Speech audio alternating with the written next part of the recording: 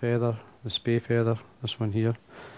Now, what this is a white-eared pheasant dyed or dip dyed. Started off chartreuse and then through put a bit of sunburst, a red at the tip. I mean, you see it a wee bit stronger if I put it together. It's just, as you can see the build up of colour. You can see the, the red, just the red tip. So basically I'm putting the whole feather in, doing it chartreuse, fluorescent yellow even, and then working your way through with the different colours. Just dipping it in till it sets. Now, it's something you don't have to do it. I mean, it's a bit of fun. I mean, there's one wee bit darker on the red side at the tip.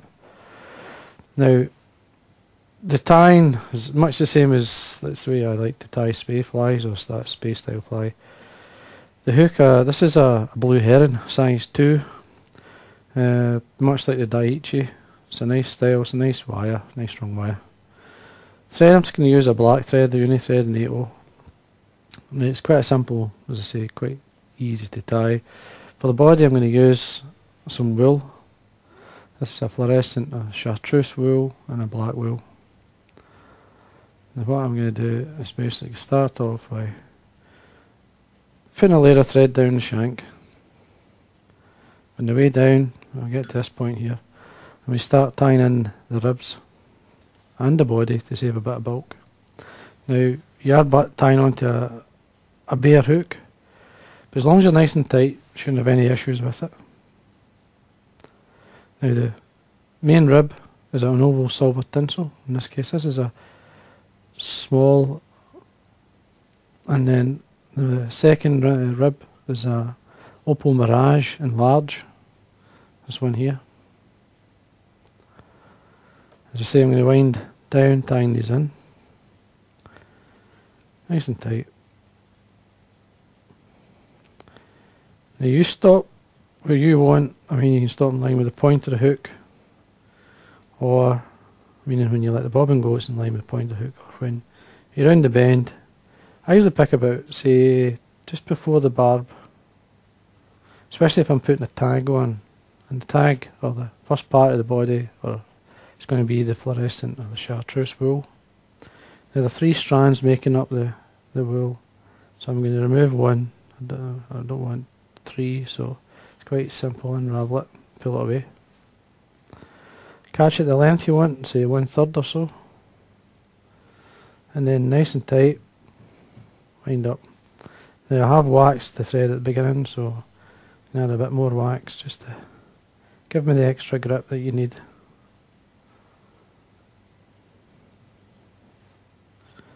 Take your time.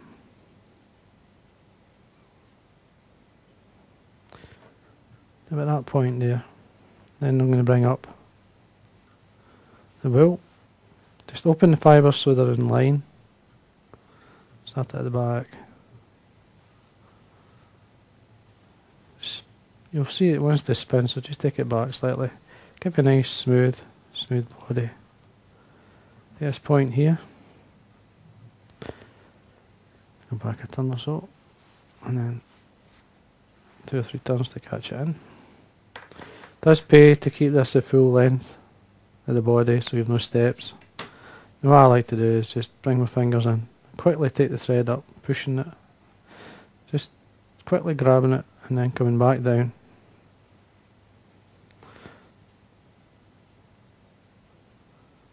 You'll get a nice smooth body so don't worry. There we go. We tie in our hackle, tie it in by the tip got one with quite a long fibre so I'll use this one here. I say this is a good colour combination that I'm sure would work for steelhead as well as salmon.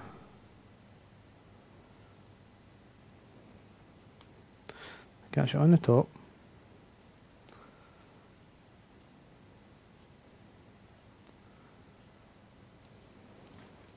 trim this a full length. I'm going to get my black wool. remove this again, there's three strands, so I'm going to remove one just twist it to open them out. Take one away, slide it through.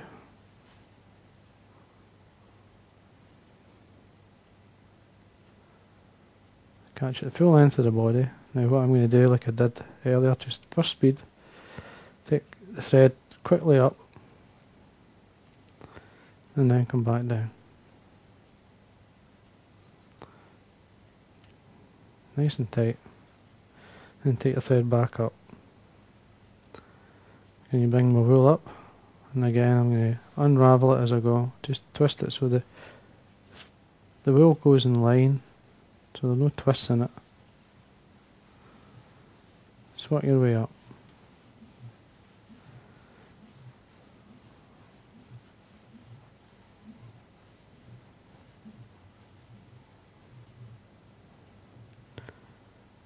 Take this point here.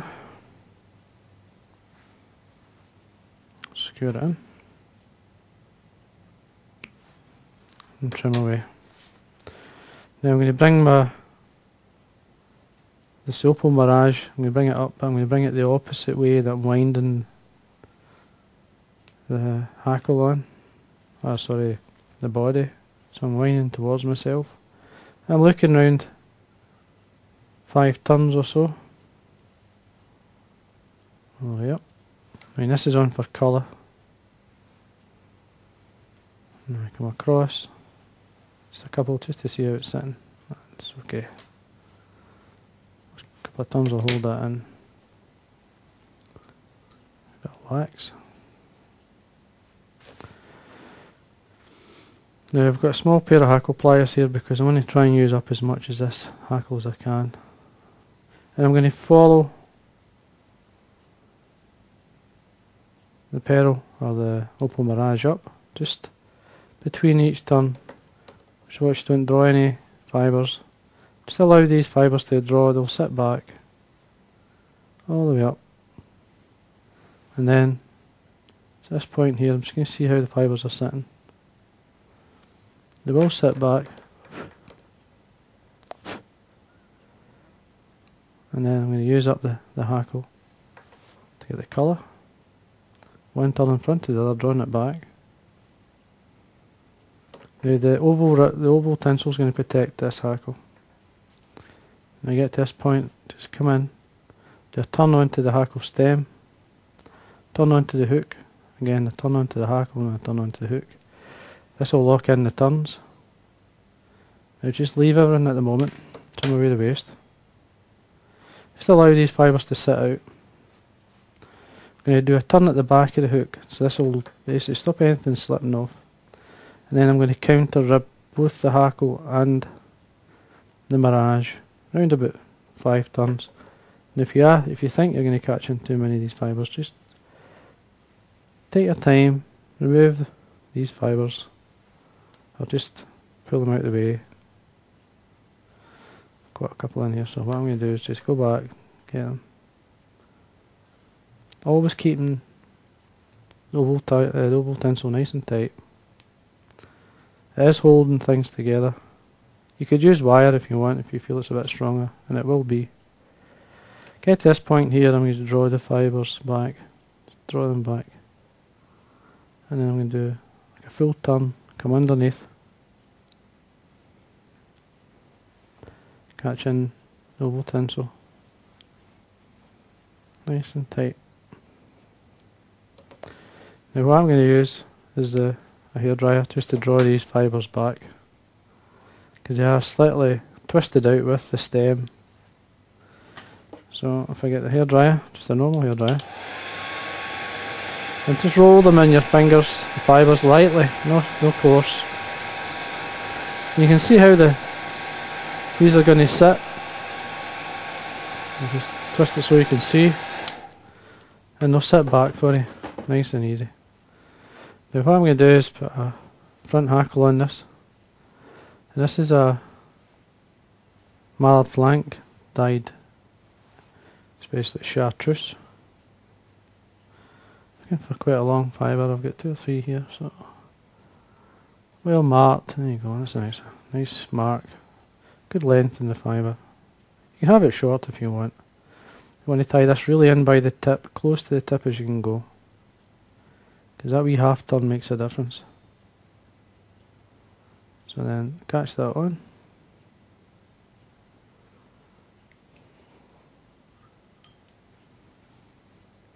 Two three turns up.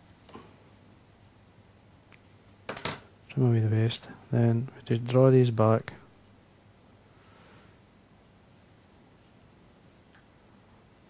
Now you can have a lightly dressed, it's up to yourself. I want a nice hackle on this. Plenty of colour. Switch your fingers, these.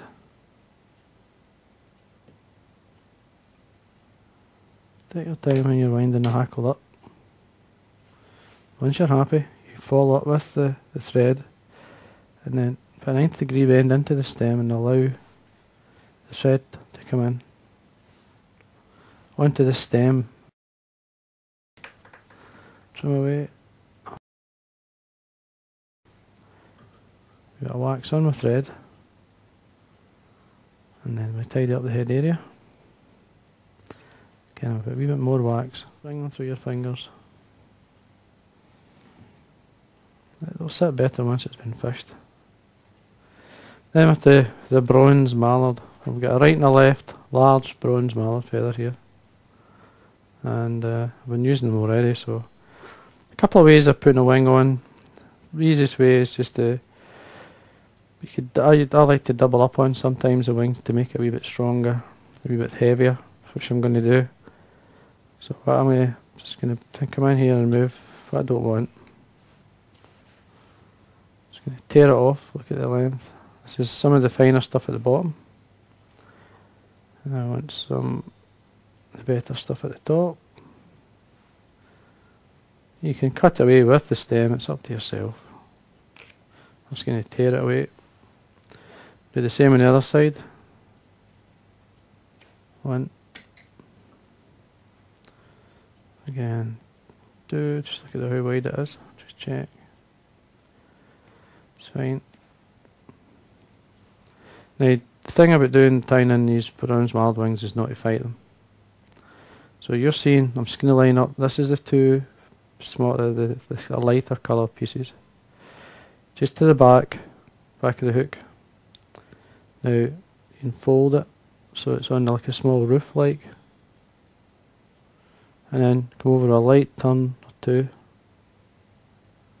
Position the wing. So we quick look see how it's sitting. As always my side is perfect but the far side's not. So I'm just going to go back again line it up don't put a lot of pressure on these fibres the more you mess about with them the less likely they are for to sit caught in my pinching loop just a wee quick look that's fine. Now I'm going to do my side first with the, the main part. Just slightly by. Come in, use that there as the underwing to basically, I'll show you, hold or support the main wing itself.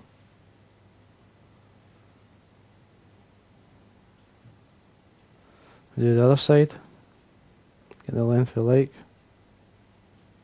Just come in with your fingers, hold. Come round.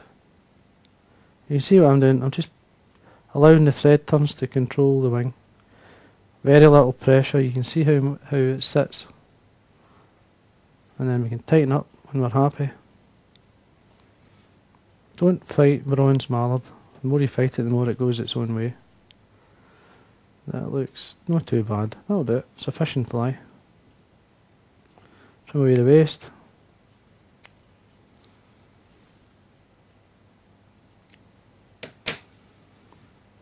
Tighten up now. I need a bit of wax on my thread here. Come into these cut ends. Build the head up. Usually I like to build it from the front up. And into these cut ends because then they're just basically tucking slightly the tips back. And there you go, you can see that nice, nice wing. Nice fly, nice looking fly. And then I'm going to add a wee bit of flash just to still highlight the head. And this is just a bit of mirror flash or crystal flash. Come in, catch it on the side. You got wax on my thread. Now you can, the easiest way to do it is to get some super glue. Just rub it onto the, the flash itself. It's going to form like a nice band around the, or collar if you want to call it. Stick. Once you're happy you can come in with two or three turns. Trim that away. Wet finish. Same time, wet finishing is tidying the head up.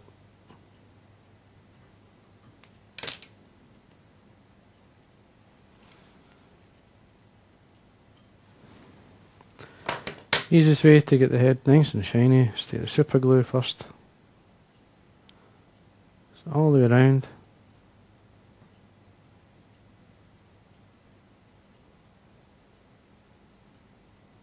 Allow that to dry. Get a nice, nice kind of roof there, type shape that you're looking for. Sitting reasonably low, but it will sit anyway. But don't have a name for this fly, I just made it up. It's a freestyle spey. Good style, good colour combination that would certainly take salmon and it would take steelhead. Uh, so I hope you I hope you enjoyed that and that's a freestyle fly.